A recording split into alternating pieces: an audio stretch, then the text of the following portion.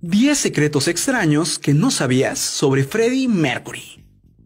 Número 10. Mercury no se consideraba un buen pianista, a pesar de que a la gente le gustaba cómo tocaba el piano. Es por eso que Freddie tenía mucho miedo de equivocarse en los conciertos, por lo cual a veces usaba secuencias pregrabadas, llegando al grado que en los últimos discos quitó el piano para no tener que tocar más en el escenario.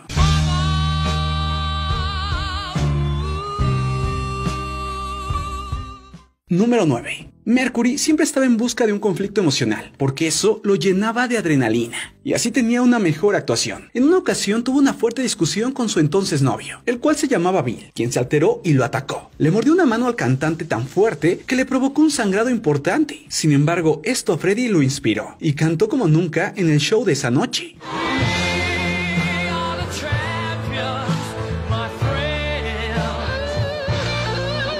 Número 8. En una ocasión Queen se encontraba de gira por Estados Unidos, cuando Mercury descubrió que Tony, el hombre con quien salía, estaba saliendo con alguien más. Así que para vengarse, Freddie invitó a Tony, quien vivía en Londres, a visitarlo en Estados Unidos, para lo cual pagó su vuelo, pero por la vía larga con escalas y en clase turista. El viaje fue muy largo, ya que duró más de 12 horas, y en cuanto Tony puso un pie en el aeropuerto norteamericano, ya lo esperaba Mercury, quien lo recibió con una cara de pocos amigos y le dijo, hemos terminado. Después de esto, le extendió un boleto de regreso a Londres, el cual saldría ese mismo día y por la misma vía.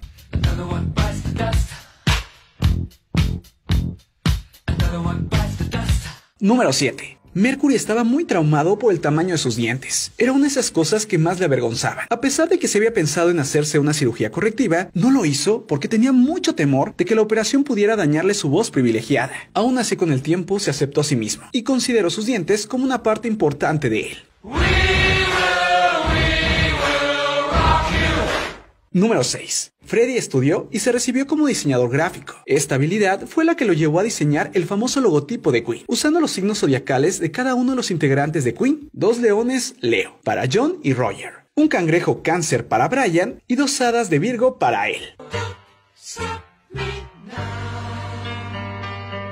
Número 5. El cantante de Queen era bastante paranoico al viajar en avión. Realmente se ponía muy mal. Además, le tenía especial pavor a un modelo en específico, el DC-10.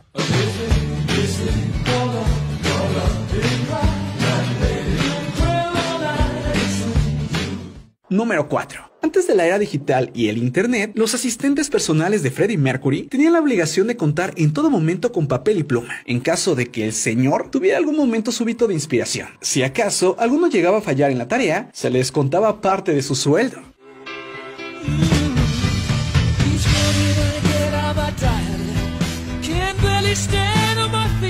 Número 3. Freddy hizo famoso el atril cortado. Su invención ocurrió por accidente. Cuando en un concierto Freddy jaló el micrófono y el atril se salió de su base, quedándose solo con la mitad, cosa que le permitió moverse libremente por el escenario. Y esta forma le gustó tanto que decidió usarla de esta manera siempre.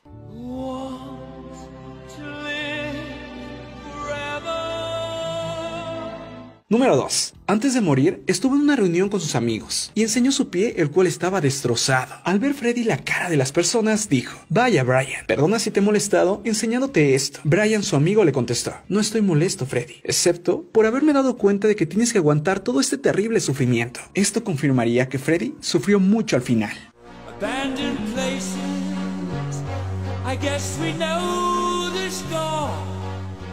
Número 1. A sus 45 años, falleció un día después de anunciar que estaba infectado por el virus del SIDA. Algunos le dijeron que no hiciera esta declaración, ya que mancharía su imagen, pero él reconoció su enfermedad públicamente en un intento de concientizar a las personas sobre el SIDA. Se cree que gracias a esta declaración, mucha gente salvó la vida.